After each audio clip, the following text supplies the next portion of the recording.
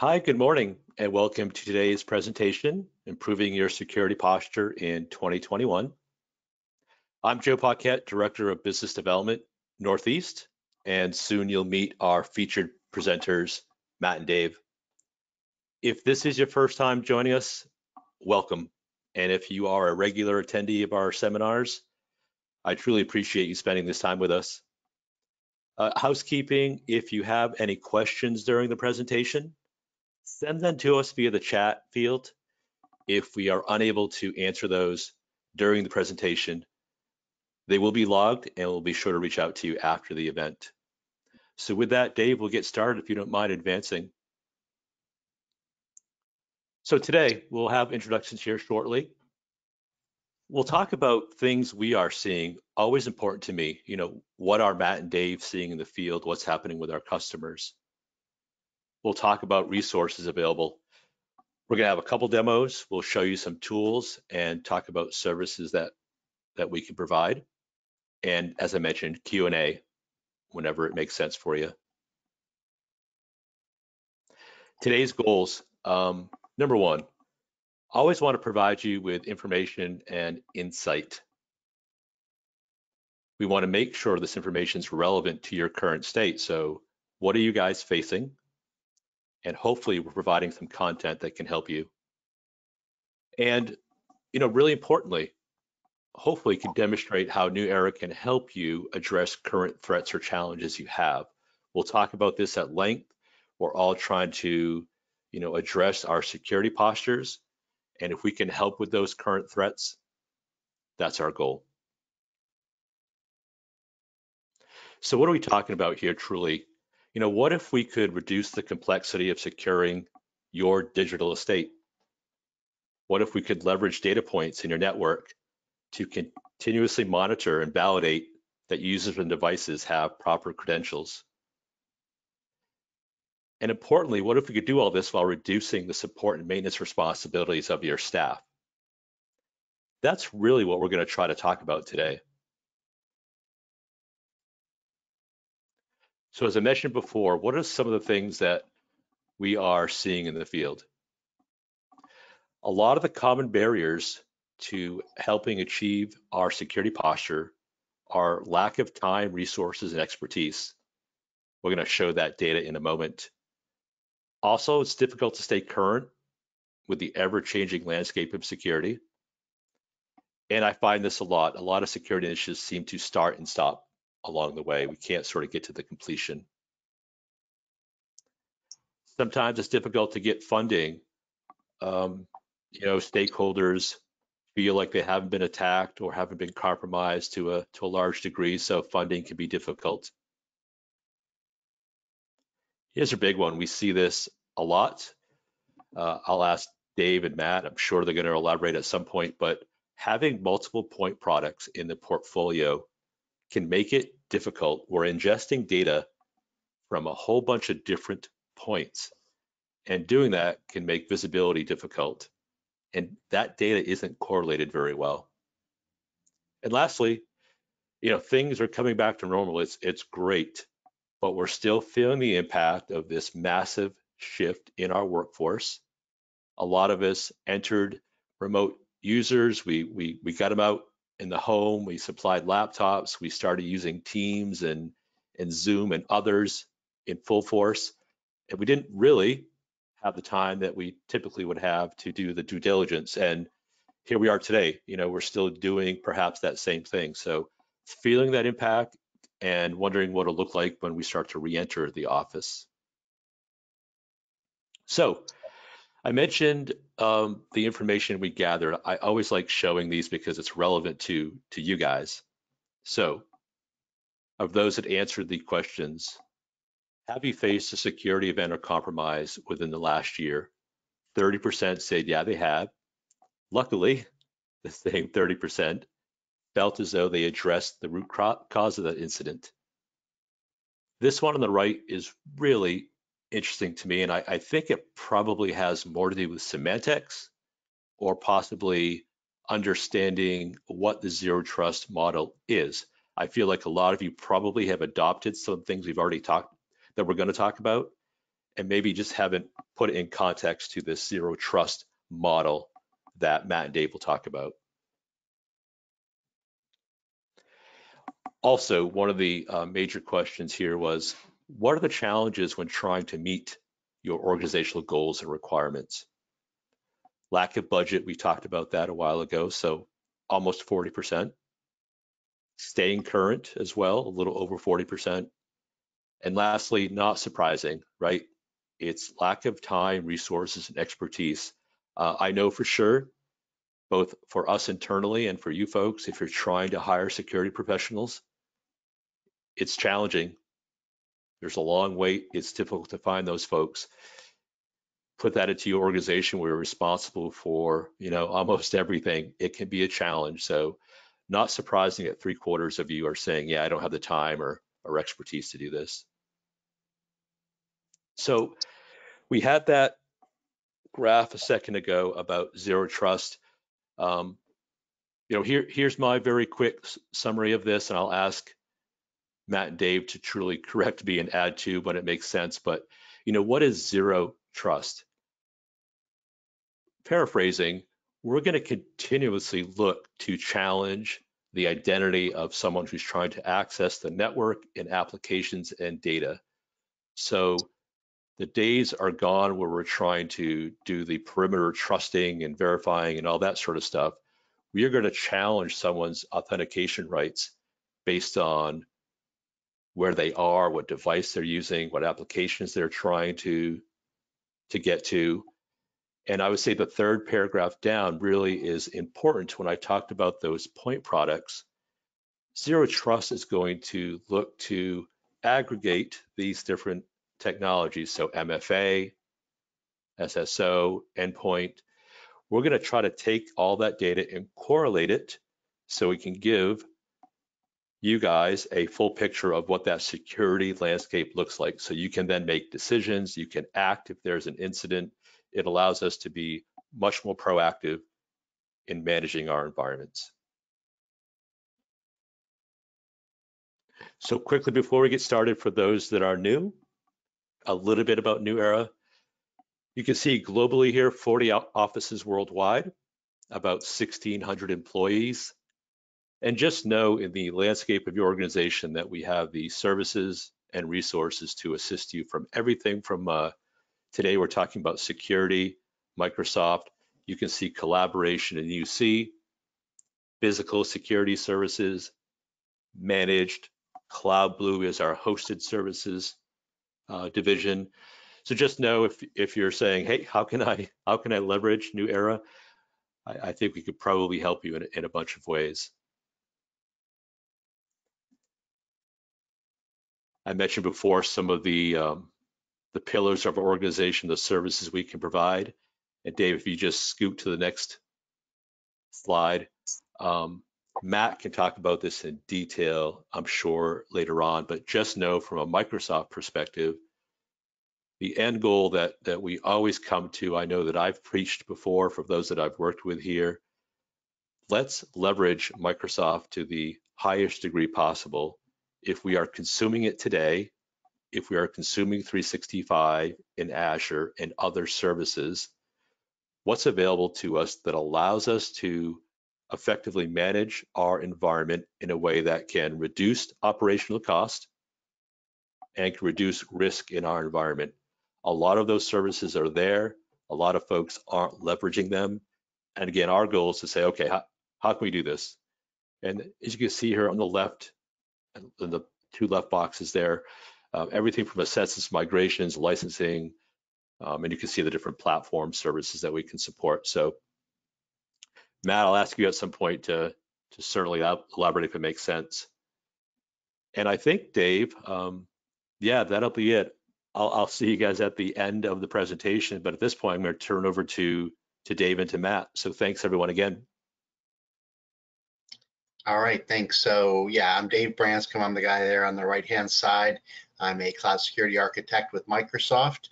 And uh, Matt, I'll let you go ahead and introduce yourself real quick. Thanks, Dave. So Matt Giorgenti, the Vice President of Professional Services. Uh, I'm actually out of our Houston office. So we're uh, come from an area where we're heavily focused on uh, business continuity, disaster recovery, and all of those now play in with the security side of the house as well. A lot of oil and gas, healthcare. Uh, without going into all the detail, prior to being in IT, I was a paramedic and that went from paramedic into IT, which turned into Office of Emergency Management. Actually managed uh, some hospital districts and 911 services. So obviously security, HIPAA, personal privacy information is a large part of what I've been doing for the last 25 years. Nice. Yeah. So um, I'm probably going to be picking your brain on a couple of these slides, if that's all right, Matt. Absolutely. Things. so let's talk a little bit here about uh, the the model of today's network. So in, in years past, we used to really only be concerned with securing the data, the devices, the identities um, that existed inside of the corporate boundaries. And, and Joe alluded to that a little bit earlier. But as we've seen over the, the last 16 to 18 months, um, those events have really forced nearly every organization in the world to rethink how we're doing things. And we had kind of been on that uh, trajectory already, um, but uh, the, uh, uh the, the pandemic really accelerated that process. So at this point, you might be managing identities for a user population that includes your employees, but it may also include partners or contractors. Um, sometimes even bots have identities that uh, that you have to to manage, and they may be using their own phones, their own devices. Um, we store sensitive data in multiple cloud services. We've got devices that are deployed in supply chains, fields, factories, buildings, and we might even be sharing users, devices, apps, and data with partners and vendors. So the corporate footprint that most organizations have right now and how we protect it looks a lot different than it did uh, just even five or 10 years ago, where uh, dual perimeters protecting our assets uh, was kind of the norm.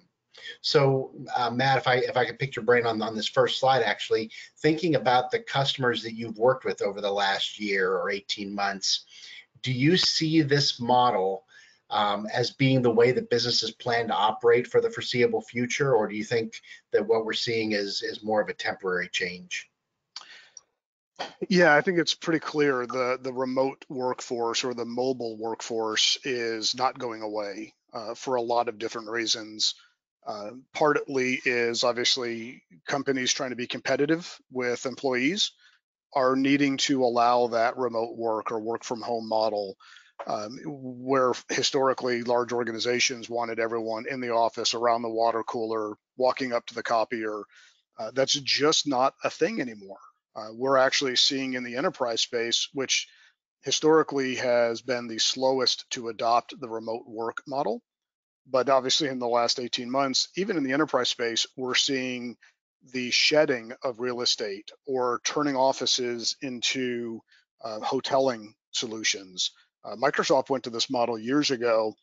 As a matter of fact, I was there when we launched the uh, MTC office in Houston, which was the first cloud-based, hoteling-based Microsoft office.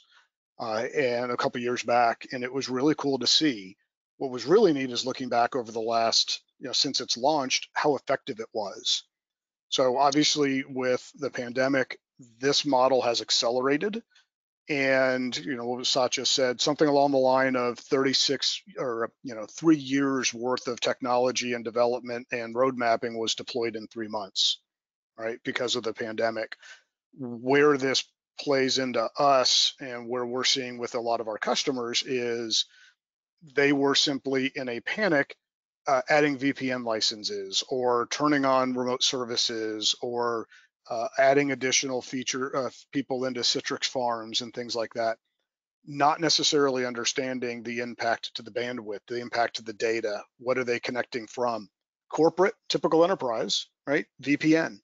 You would deploy your VPN client uh, and people would hop into the environment that way. Well, now they're doing it from home some people are doing it from the same PC that their their kids use in the evening to you know hit the different social medias and and uh, play games and I'll date myself and say Police Quest from way way way back. But uh, so we're seeing a lot of this model. Not only is it deployed, it is staying. We're seeing organizations of all size adapt to this model. So they're not they're not looking on how do we shut this model down and go back to the way it was. It's definitely steady state moving forward. Uh, but now the big focus is how do we secure it? Right. Yeah. And, and, and I think that's that's kind of been the uh, the mantra uh, from maybe three months into the pandemic was okay, we've got all these services deployed. Now let's figure out how we can kind of rein things in and, and start securing it. I think that's uh, kind of a longer tail to to accomplish. Um, so how does this translate into the changes in, in, in the way that we work? So um, as the slide here points out, 94% of organizations are using cloud services. If you think about uh, comparing this to what was going on five or 10 years ago, um, I personally can clearly recall so many customers that I talked to saying that they would never ever move to the cloud because they could secure their data better than Microsoft or Amazon or Google ever could accomplish. Um, in the last two years, I haven't spoken to anybody that made that claim anymore. Uh, I think the, the, the default now for many organizations is I'm putting it into the cloud unless you can prove to me why I shouldn't. Um, we also see uh, a number of mobile business apps being accessed daily by employees. So that means that uh, you have to be able to secure the apps, but also contain the uh, or, or, or secure the data that the apps contain as well. 60% um, of organizations currently have a formal bring your own device program in place. This number may actually um, be much higher now that uh, uh, the the work from home model has become uh, a little bit more prevalent. Uh, the, the, these numbers came out uh, probably in 2018, 2019. Uh, this is a number that I did pick up this morning though. There are 10.07 billion internet connected devices in use worldwide, and this is expected to triple over the next uh, nine years. So we have to secure these devices as well. You can't just ignore the fact that your refrigerator is connected to the internet or uh, your toaster is connected to the internet. That does make them uh, vulnerable and they can be used by people uh, to accomplish uh, bad things. And so, for better or worse, uh, we are living in a new reality. Uh, the old assumptions are not going to keep us secure in uh, what we might consider to be this new world. Uh, we can no longer make the assumption that everything behind a corporate firewall is safe. Um, and then that leads us to the point that we need new principles of security. And that's where um, as Joe alluded to, the, the, the, concept of zero trust comes into play. And these are the three uh, pillars that underpin the concept of zero trust. Explicit verification of users, the concept of least privilege access being applied to users, and this assume breach mindset. Now, what I have heard from different vendors is that Microsoft effectively has thrown in the towel on breaches by by making this uh, this assume breach um, statement. That is not the case at all. What we're saying with assume breach is that um, what can you do inside your network to minimize the impact that an attacker can have if they do get inside your network. So, so we call this your blast radius. So if you think about when a bomb explodes, um, eh, there, there, there's a, a, certain distance um, outside of the initial impact area, the initial crater of that uh, that bomb, where a person is in danger, right? So what is the blast radius for an adversary's attack inside your network. If they compromise one identity, how many other identities can they compromise? If they compromise one device, one application, one server, what else can they get to from there? And so you need to implement a security strategy that prevents them from making those lateral moves to other identities, other devices, other services. That's what assume breach means. It isn't a surrender um, and, and, an assumption that uh, there's nothing you can do. Um, it's exactly the opposite. It's what can we do to contain an attacker if they're able to uh, breach your network. And so when we get into this, um, uh, this zero trust in a little bit more detail, uh, the concept is that every access request is strongly authenticated, it's authorized within policy constraints, and continuously inspected for any anomalies uh, before granting access. So the essence of zero trust is very simple. Security models that assume safety based on an authentication coming from a certain network location are inadequate. In other words, we can no longer trust that simply because an authentication is coming from inside the corporate network, that it must be trustworthy. That's no longer the case. So how does zero trust work from an architectural standpoint? The zero trust model takes identities and devices and analyzes the state of those two components. It's going to look at things like, has this user performed multi-factor authentication? Is this user logging in from a location that they typically log in from, or is it an unusual location? What is the status of this device? Is this device a bring your own device, or is it within the uh, confi uh, confines of Azure Active Directory or my on-premise Active Directory where I'm managing and policizing and, and have some control over the device? What is the risk state? Um, am I able to analyze the patch status, the antivirus status? Um, you know, is the data encrypted and so on? We're looking at these things and we're also looking at what is it that you're trying to get to? Are you trying to get to um, Exchange Online? Are you trying to get to Teams? Are you trying to get to SharePoint? Are you trying to get to a set of virtual machines? What network are you trying to get through? So there's this policy engine that exists in between your identities and devices and the things that they want to access. And this policy engine, which is what we refer to often as conditional access, is going to make a determination about the security of your identities and devices and grant them access to these different things according to the criteria that they meet or don't meet. So that's the concept behind zero trust, right?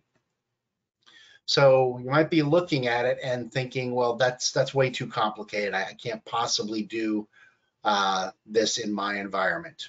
Let's let's break it down though. So so while zero trust does need to be thought through, there are things that you can do today that can significantly enhance the security of your environment. So if we talk about just the three things that are shown here in this uh, in this discussion, um, we're going to talk about implementing multi-factor authentication, checking what's called your identity secure score, and deploy Microsoft Defender for Endpoint. Three things that uh, you can uh, very quickly do that are going to significantly increase your security posture uh, maybe just over the next six months. So let's talk first about multi-factor authentication. So when we talk about multi-factor authentication, what we're saying is that we want to prove or, or have our end users prove that they are who they claim to be every time they access data or make an attempt to access data. And we want to regularly force them to reaffirm the trustworthiness of their logon. And MFA is one way that this can be done. It protects your applications by using some second source of authentication, whether that's a physical device like a, hard token, a FIDO security key, um, Windows Hello built into your laptop, or it can be a soft, uh, a software-based solution like Microsoft Authenticator or a soft token or um, a, a, text message or a voice activation. Um, all of these are forms of multi-factor authentication, and these can help you to ensure that the person who is asking for access to something on your network has a way of verifying and proving that they are who they say they are besides just a password, right? We want to move beyond the concept of passwords only for authentication because they've proven to be um, unreliable and, and easily compromised. So while you might still use pa passwords for certain things, um, the second factor of authentication uh, needs to be in place to prove that they are who they say they are. Now, this is kind of an interesting slide. so the use of MFA in the Microsoft 365 world has been an area of concern for several years now. As you can see from 2017 through 2020, we've seen a, a, a, a jump in the number of multi-factor authentication um, enabled admin accounts. So it's gone from you know 0.7% to 8.9%, which is good, but that still means that 91% of admins are managing their environment without the benefit of MFA. And it becomes more urgent because we've seen that while MFA is not a magic wand, it is one of the best ways to defeat identity-based attacks. So we did see this jump, and that's good, but uh, there's still a lot of work to do. Um, actually, one of the positive things that we've seen come out of the pandemic is starting in March of last year, so just after this um, uh, January 2020 number came out, in March around the 16th, right when uh, most of the world went on lockdown, um, we saw a jump in the number of users being enabled for MFA uh, starting in March, which is great. You know, it's a positive thing for security, but uh, we're still not at the at the stage where we can say that most users are enabled for MFA. And this is a, a key element in securing your identities and one that's not all that hard to accomplish. Now, uh, the question becomes where do I start? Because the, the, there's different aspects of um, securing identities, and uh, you might wonder, you know, what am I supposed to do first? And so um, we've kind of given you a list here of, of what makes the most sense. Is you know, it's good turning on MFA for your admins. Better is applying conditional access for your admins. The best is turning on MFA for everybody, using conditional access for everybody, and using what we call Azure AD privileged management for the high value um, actions that an admin needs to take. So if someone needs to perform a task that requires elevated privileges in Azure, that should be something that they can request they're given that access for two hours, let's say, and then those privileges are revoked. So no standing access to a highly privileged role within the environment. Um, now, uh, Matt, if I could uh, pick your brain a little bit more, um, I think sometimes people get intimidated by this idea of turning on MFA for uh, their users or for their admins. Um, what would you say to someone who thinks that their end users won't be able to understand how to use MFA? Yeah, it actually comes up quite a bit. And uh, as a consultant, this is where I kind of take the hard line, no sugarcoating. The bottom line is this must be done. Right? Whether or not to do it is non-negotiable in my book.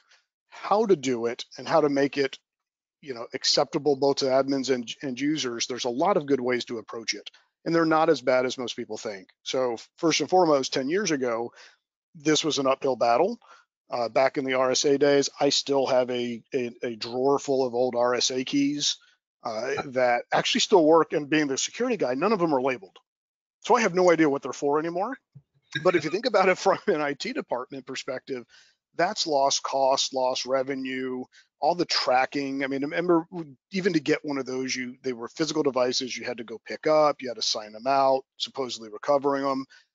MFA, from an administration perspective, people think is a heavy lift, and it's really not. Uh, Microsoft has made this super simple. uh, and secure, and that combination is very difficult. So kudos to Microsoft.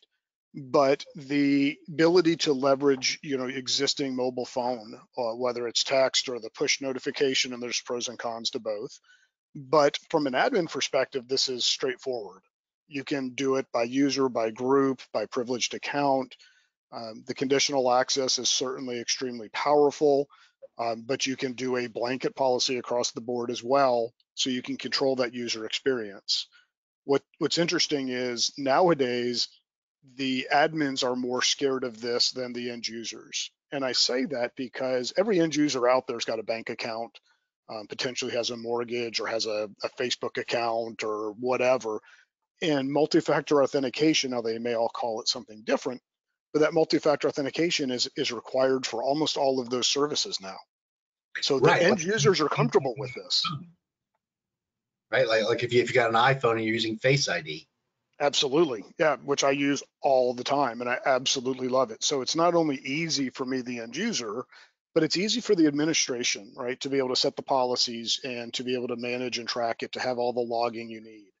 Um, so just a simple conversation about how this works today, what's available. And for a lot of customers, they already own the technology or the licensing, right? So it's just a little bit of education on how to do it. And then of course, you, you know, there are some really good documentations on the end user experience, what to expect, how to bring them into the loop. But all the security being all over the news these days has brought this conversation to the to the front, which is good. End users are ready for it, they're used to it, uh, they're kind of expecting it. And I will say, it has become the minimum standard. We used to talk about deploying MFA as a way to increase security, and it absolutely does. But now we talk about MFA as the basic minimum standard for authentication and not having it put you below standards, which creates issues from an insurance perspective, cyber insurance perspective. Uh, the reality is this is being driven by a lot of customers. So we, we we're very big in the in the legal industry. You have law firms now that are trying to bring on a new client. The new client is saying we need to see your security policy because you're going to have access to our data and our privileged information. You have to meet our standards if you want to do business with us. So this has become very common, which makes it easy. And I think we need to take advantage of that scenario and change that number from 8% to 80% quickly. absolutely. Yeah, I agree with you 100%. Yep. All right, great. Thanks. I appreciate that. so, so let's move on to the second area, and that had to do with identity secure score. So now that we've discussed one of the most important ways that you can secure your organization's identity, implementing MFA, let's talk a little bit about the rest of the ways that you can secure your identity infrastructure. So within the Microsoft 365 uh, ecosystem, I guess you could say, we have an in-product collection of security recommendations for protecting against attacks and uh, generally strengthening your security posture when it comes to either user identities or devices or applications or data. And one of the components is Secure Score um, uh, based on identity. So what this is doing is addressing the improvements that you can make to enhance the security of your identity infrastructure. So you can measure your secure score in uh, what is effectively real time based on your configuration and use it to prioritize and plan any future improvements. So what does it look like? Well, there's two places you can actually find identity secure score. One, as you see here in the, in the picture, is in the Azure Active Directory portal. So if you go to the security tab on your Azure Active Directory portal, you'll see under manage a, uh, a button or you know a, a, selection here for identity secure score and it'll show you uh, where you stand on uh, security for your um, identities Now in this case, 19.61%. I'm not sure I would give them a trophy for that, but um, uh, the point that's being made here is that you can then go down here and look at the improvement actions and see what the things are that you can do to improve your security. And then if you self-identify as a particular industry, um, it'll show you how you compare against other uh, people who have identified themselves as being in the same industry, or if you want to look at um, uh, see how you compare against uh, a company of a similar size, regardless of industry, you can look at that. And then over here, which I'll show you when I do the demo real quick, um, you can see how your score has trended over the last, uh, you know, whatever period of time you want to look at. so this is what Identity Secure Score looks like in Azure. Uh, there's a, another similar interface within the M365 Admin Center, and that's the one that I'll be doing my demo out of. So Matt, before I get into the demo, um, why do you think, or, or, why would you suggest to your customers that uh, using Identity Secure Score is a reasonable starting point for organizations to use in, in uh, strengthening or shoring up their security? Yeah, so for me, it's all about the KISS theory, right? Keep, keeping it simple. Security is, uh, unless you have a dedicated team that literally is staying current day by day for trends and risks and and you know different attack uh, vectors and that sort of stuff it's almost impossible for any group or IT department to stay current and be aware of everything that's out there. The other thing is uh, Microsoft you know, is rolling out tons of additional features on a regular basis. And with those new features, being 100% um, knowledge on all of it is difficult. So what Microsoft has done is said, start here with Secure Score, right? And we will continually evaluate your environment. We will show you where your risks are, where your best bang for the buck is, right? You can spend 10 minutes and do this one thing and close some notable gaps. Uh, that's huge, right? It just makes it simple. It's visual. It gives you a focus area. From an IT perspective, it gives you a list you can go back to management with and say, here's a roadmap and a budget. Internally, I've got several IT departments I work with that almost use this as a competition, right? They're always, you know, kind of seeing who's got the better score and then who can who can raise their score faster. Because the the funny thing is, don't ever get frustrated with this. If you go in there on a Monday and your score is at you know 280, and then you go in there on Wednesday and, it, and it's 190, you're like, oh man, what happened? Well, there were some additional um, up things that popped into the environment that you need to do or should do to get that score back up. So to me, that's the biggest advantage. Security is a verb. It's something you do and redo and continue to do. And this allows you to go to one place and quickly assess what needs to be done at the moment. And then you take care of it, your score's up, you're good, you check it again in a week and you up or a month or whatever your cycle is and it is it helps you continue to keep security top of mind it keeps security um, as an action something you're continually doing it gives you support from an IT perspective going to your administration uh, it also gives you visibility into new features and functions you may not be aware of which to me that's one of the biggest ones yeah I agree um, so let's take a quick look at it let's uh, pop out of here and I'll show you. This is Secure Score.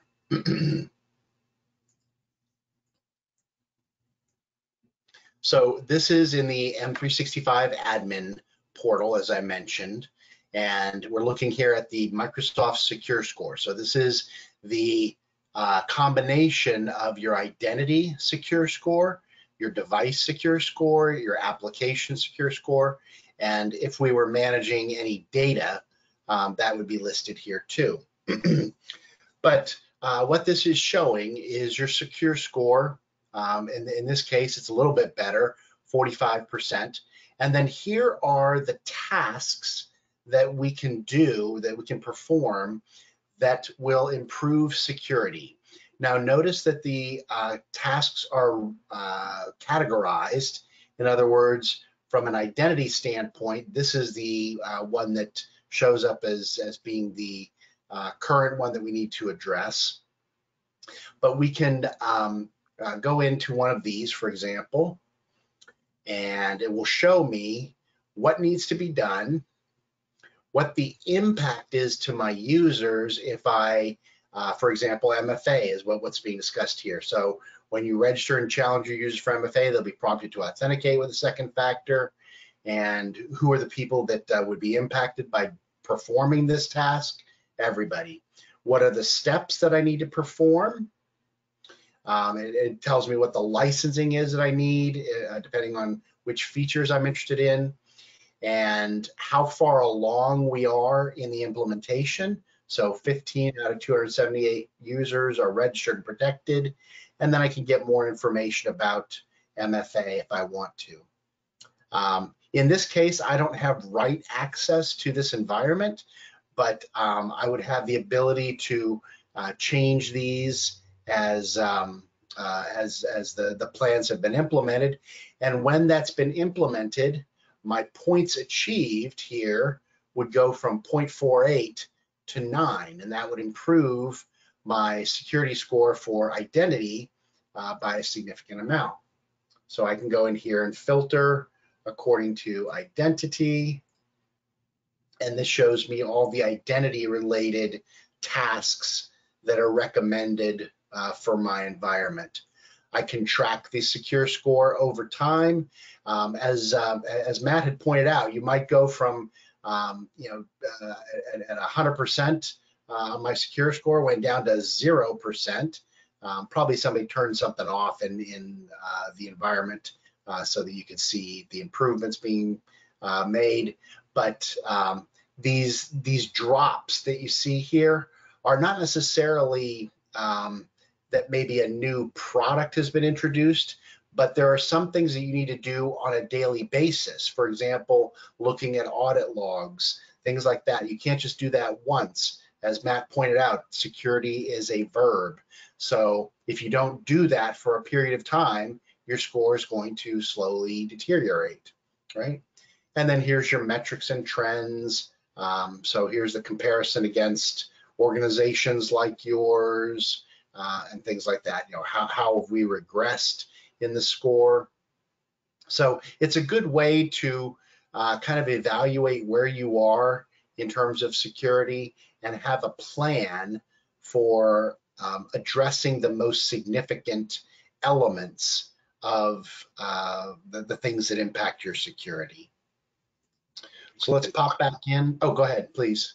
Yeah, Dave, one thing I was going to mention was, and this is something that we use on a regular basis. If we, you know, a second ago, you, you went in and showed like the MFA, uh, and it gives you the different, the section where it shows you your different licensing requirements and who all would be impacted. One of the things there is that you actually have a link that you can click. It will take you directly to the Azure Active Directory uh, conditional access page or blade that's right. huge as as the, the the service is evolving knowing where to do everything becomes a little bit difficult. And if you look at some of the documentation it says well just go into conditional access and enable this. Well great how do i get there right? So from here it's point click and you're there. It makes it so much easier. Uh, the last thing i wanted to mention on the secure score is so we have a, a managed security offering uh, here at new era one of the things we've been discussing, this isn't live yet, so this is all between us, but one of the things we're discussing is actually assessing these for a customer at the beginning of an engagement. And if they are at a particular uh, security score or higher and can maintain it, there's a potential the, the service will be cheaper or waive a setup fee or something along that line because one, we want to incent people to do the right thing, uh, which is huge uh, and also because it means that the company is invested in security and it is a partnership between our SOC service, our security offering, the customer, and Microsoft. Security through all of this is a partnership and everybody has a responsibility. So we're incenting that and the higher their score, potentially they're low, the lower their cost. Interesting. I, I didn't know that you guys were doing that. That's cool. And guys, I'll add to that. Sorry, Dave. I'll add at the end of the event, we always have our uh, questions after the event's done. obtaining your secure score is part of that. So if you folks would like some assistance, you just have to say yes, and uh, our team will follow up. Very cool. Thanks, Joe. So the third point that we were going to discuss is Microsoft Defender for Endpoint. now, this is kind of an interesting slide um, because what, what it's illustrating here is, is a, a, fact that we've known for a long time, and that is that um, the bad guys follow the crisis. So whenever there is, let's say, a hurricane that devastates a city in the United States, or there's a bombing somewhere in the world, um, immediately thereafter, what you'll see is criminal groups um, attempting to capitalize off that event in order to compromise environments. So they might start sending out emails that say, you know, help the victims of hurricane whatever, or help the victims of the bombing in wherever. And uh, they'll they'll get people to click on links, provide information, and they'll compromise um, either environments or individual users. And so the same was true, as you might expect, uh, with the COVID-19 uh, pandemic. Once uh, we, we uh, saw the uh, World Health Organization declared a global health emergency and uh, it's named COVID-19. Once the first confirmed death took place in, in February 29, um, we, we, were already seeing this ramping up of encounters with COVID-19 themed attacks. Um, it started uh, to increase again as the US announced their travel ban to Europe. Um, it did drop off after a little bit, um, but then we started seeing it bump up again in June. So who knows what what the next crisis will be? Uh, let's hope we get a little bit of a break in between, but uh, recognize that, that, that criminal groups are, are using this methodology to get malware distributed to organizations. They will always follow the crisis. So whenever you see something in the news, the chances are good that an attacker is developing malware and trying to get it to you based on that news. Now, Microsoft Defender for Endpoint is built into Windows 10 version 1703 and higher, as well as on Windows Server 2019. So you don't have to deploy any agents if you're using those versions of Windows, which is nice. It's already built in. Um, now, Matt, I think many organizations will kind of chuckle when you mention Microsoft Defender as any sort of endpoint solution, because quite honestly, it had a terrible reputation several years ago. Um, is that perception accurate today, in your opinion, or, or why should people even bother looking at Defender? Yeah, that perception is definitely not accurate. Uh, and I've been doing this, you know, I said, 25 plus years in the Microsoft space. And I never thought I would say Microsoft and security in the same sentence without a punchline. Uh, and that's the reality, right? And I say that somewhat tongue in cheek, but it's true. Microsoft had never been known for security services, security offerings, or being a secure product. Now, part of that, and this is kind of the best and worst of what we're talking about here, one of the reasons Microsoft was always such a big target is because they've also got the biggest deployment. If you look at, you know, technology in general in, you know, the worldwide, you know, the majority or the largest uh, deployment is a Windows-based device. So they've got the biggest target. Well, Microsoft has turned that around. Better code, uh, faster services, everything. I mean, they've invested billions every year in security, but they've also leveraged that deployment, that that wide deployment across the world, to create a system that has more signals than any provider. Period you take your top AV products, whether it's Symantec or McAfee's or Sophos, Carbon Black, Cylance. Those are fantastic products, by the way, Carbon Black and Cylance. Uh, we've used those at a lot of customers. I love the product. They are extremely intrusive and that where they they're somewhat difficult to use because they're not built into the code. Everything they do, they're having to uh, kind of manipulate the device instead of working with the device. So Defender being built in, or endpoint protection being built into the code makes it substantially more effective. Uh, it has it takes less code to have a bigger impact. Uh, the other thing that is unique to the Microsoft offering, and and this cannot be understated. Uh, this is huge, right? So if a if a virus hits a device or malware hits a device, one of your other products out there can notify. You may even be able to isolate it or shut it down, and we'll we'll see some of this. But what Microsoft can offer is that trail to see how the device or how that malware got in. Because Microsoft is involved in the email side, the, the remote access side, the data center side, the device side, the mobile side, instead of being told, hey, you had a problem on a PC, Microsoft to tell you, hey, you had a problem on a PC, and by the way, they attempted it on these other 10. Let's go look at those as well. Two of those, you know, the person, the people opened that email, uh, and of those two, one of them actually executed it. So to be able to take that level of information is critical to a security response. And I haven't seen a product out there that has the visibility into an environment that Microsoft does. Yeah, great. Thank you. Appreciate that. so we, have been talking about this uh, concept of zero trust and, and uh, how Defender plays into that story is that uh, Defender allows you to control the device state and the health of the device.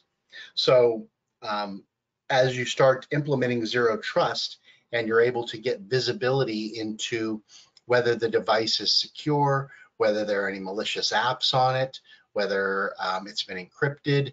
Uh, some of these are things that uh, Defender uh, performs natively. Some of them are OS type of uh, configurations. But the point is, uh, Defender natively provides much of this information to conditional access and can help um, uh, enhance the signal that is given to conditional access as it runs through that policy engine and allows you to um, effectively gauge the health of the devices. and that's what's being described here is that um, endpoint manager or Intune or SCCM, whatever it is that you're using uh, to manage your devices, uh, the devices are going to report their compliance status. Um, you can implement conditional access based on that compliance status. And if the device is not compliant, then maybe you automatically block the device. You might wipe the device. You can automatically remediate the device. Or if they are compliant, then uh, maybe you allow them directly to the uh, uh, the service that they're requesting. Maybe you uh, require the user to also perform MFA. Maybe you require the end user to enroll the device, right? So um, it's not just the health of the device that we're looking at, but also what is their status as far as the organization is concerned. That's what we mean by enrolling the device. so let's take a quick look at Defender, uh, at least the interface for it. and uh, if we go back here to incidents, so again, I'm still in the M365 uh, security uh, homepage. And what you'll notice here, uh, just kind of as a side point, is that we're starting to pull all the security related things into this one portal. So uh, we've got the information about the endpoints, but we're also getting information about email and collaboration, uh, different uh, threats that are being uh, uh, observed that are coming through email. So pretty soon you won't have to have um, uh, work being done in the Exchange Online uh, security area, but it can all be done in here. Now, if we look at uh, the uh, incidents that are taking place in the environment, we've got uh, an example that shows here a malicious file was detected based on indication provided by Office 365 on a single endpoint. As I expand this, it shows me uh, the different instances of that alert. and as we start to uh, scroll down and see how the uh, alert was initially generated, we have a timeline on the side here that shows how things progressed, what um, executables or processes were involved in the attack. We see here the malicious file that was identified. We see uh, the, you know, for example, Word was uh, involved in this attack. And as we, we kind of uh, uh dig into these things, you get things like file hashes and um, process IDs, and all the different things that you need to start investigating the attack. You get recommended actions on this side for how to investigate it. You can determine or, or make the um, uh, determination whether it was a true alert, a false alert.